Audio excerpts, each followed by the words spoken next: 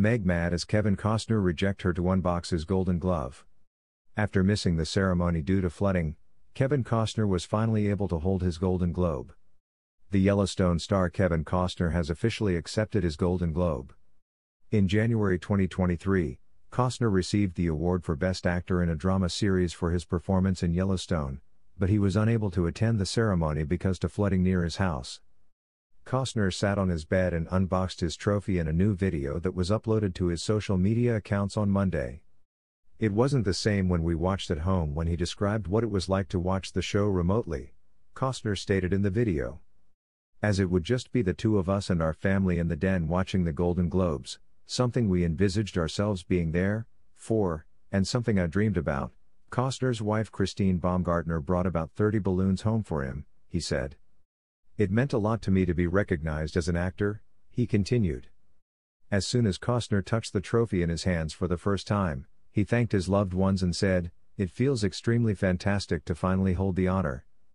I'm so grateful I found the movies in my life, it made a difference, Costner said after thanking his family and the Hollywood Foreign Press Association, the organization that decides who wins the Golden Globe Awards. The Field of Dreams actor has been nominated for seven Golden Globes. He previously won acting and Best Director prizes for Hatfields and McCoys in 2013 and 1991, respectively. Prince Harry's nickname reveals Princess Diana believed he was more qualified to be king.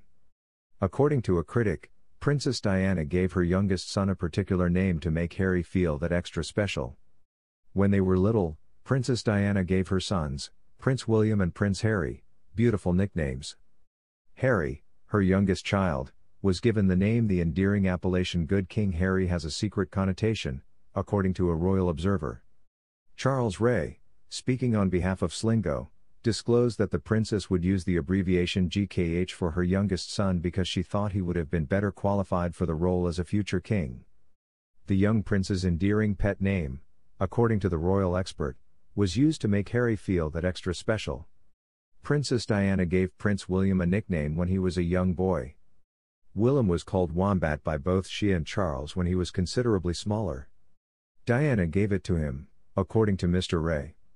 This comes after disclosures in Prince Harry's shocking autobiography, Spare, that he once called the Prince of Wales Willie and that his brother later referred to him as Harold. Since that Harry is not his real name, Mr. Rae, the author of The People's Princess, pointed out that Prince William's reference to him calling his younger brother Harold made no sense. Harry's real name is Henry, thus Harold is a mystery. I think William and Harry were just having a little bit of fun. Mr. Rae claims that the Duchess of Sussex is referred to by his friends as Spike, while Meghan Markle frequently calls her husband H or Os. But, renowned royals other than Prince Harry and Prince William also have nicknames.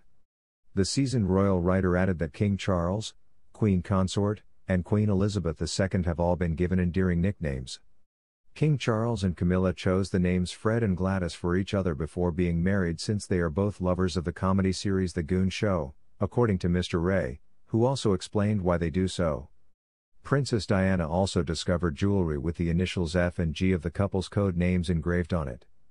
In Diana, Her True Story by Andrew Morton, Diana discussed discovering the jewelry. They also call each other Darling and Mabuba, among other nicknames. The moniker Mabob has been heard being used by Camilla.